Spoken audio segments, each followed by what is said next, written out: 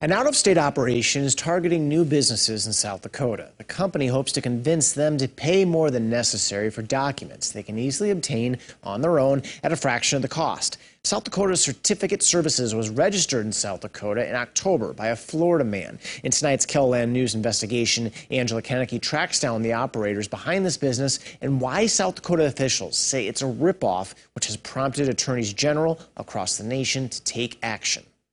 Krauser Gravel Pit just opened for business in Belle Fourche in November. A short time later, Melanie and Brett Krauser received an official looking letter congratulating them on registering their business with the state.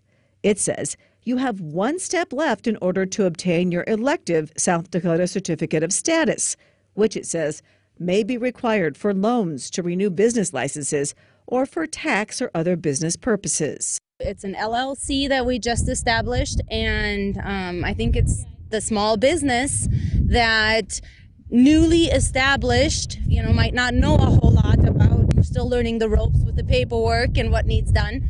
And I think that's pretty much an easy target almost. To obtain that certificate, SD Certificate Services asks businesses to send a check or money order for $87.25 to this address in Brookings what it turns out is a mailbox at the UPS store. My husband thought, hmm, well, looks legit, go ahead and pay it. And somehow I just decided that I better check with our attorney, and she said, absolutely not, it's a scam. Don't pay it, don't give them any of your information. Mitchell attorney Jim Taylor had clients who just registered new businesses with the state bring in the same letter to him. What did you tell your clients when they asked you about this? Well, I looked at it and I said, don't waste your money. You, this is nothing you need to do. If a business does need a certificate of standing from the South Dakota Secretary of State, all they need to do is go to the Secretary's website, click on a link, and pay a $20 fee. Do you think it's unfortunate that, that businesses are being targeted in this way? Yeah, I mean, people, we want to get the word out that they don't have to pay this, um, you know, $67 upcharge, so to speak to access this certificate of good standing, which again is probably only needed if, if the business is is uh, applying for like a loan or a grant. So, uh, but so yeah, I you know it's just a an easy way for a company to make some money. It walks that fine line, and uh, do I think it's unfortunate that these businesses get set up? Well, probably. I think it's more unfortunate that there are people unscrupulous enough out there to try and prey on the uninformed. South Dakota businesses are not the only ones being targeted. According to the company's filing, SD Certificate Services is being run by a Florida man, Royce Wedge, out of this home in St. Petersburg.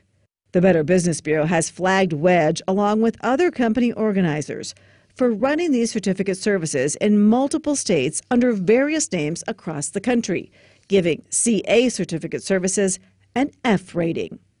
The BBB lists 20 complaints, and there is one response from the company which reads It appears the basis of the complaint is that we are somehow posing as an official state agency and making it appear as if the companies we contact are required to respond or take action.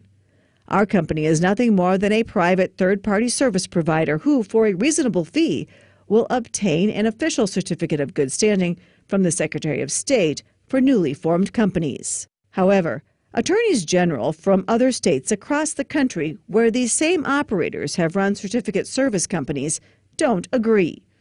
Iowa's attorney general has filed a lawsuit against the company's organizers, seeking a permanent injunction to stop them from sending what he calls fraudulent mailers targeting small Iowa businesses during a pandemic, charging $62.50 for a certificate which can be obtained for just $5. Iowa's civil suit is asking for IA certificate services to reimburse Iowans for any money they paid plus civil penalties. Michigan's Attorney General has filed a similar suit claiming fraudulent practices against CA certificate services. In a civil suit, Virginia's Attorney General accuses VA certificate services, whose organizer is Royce Wedge, of deceptive or misleading practices for targeting businesses in that state in a similar way as South Dakota. KELOLAND Investigates also discovered that Royce Wedge operates FL certificate services and filed to do business in Kentucky as KY certificate services. According to Florida's Department of State, Wedge also operates certificate services in Arizona and Oregon. The Secretary of State there has issued a warning and asked businesses who get the letter to report it. And you kind of go into a rat hole of related limited liability companies and enterprises across the country. If you get what looks like a legal document in the mail, go ask a lawyer if it's really anything important or not. We tried to call the phone number associated with these certificate services, but only reached an answering service and left a message. Our call was not returned. South Dakota has not taken any action against SD certificate services.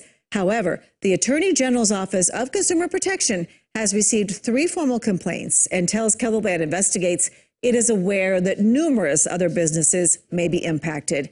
If you got the letter or paid the fee, you're asked to contact Consumer Protection. We've put the contact information on this story on KELOLAND.com. KELOLAND's Angela Kennecke reporting.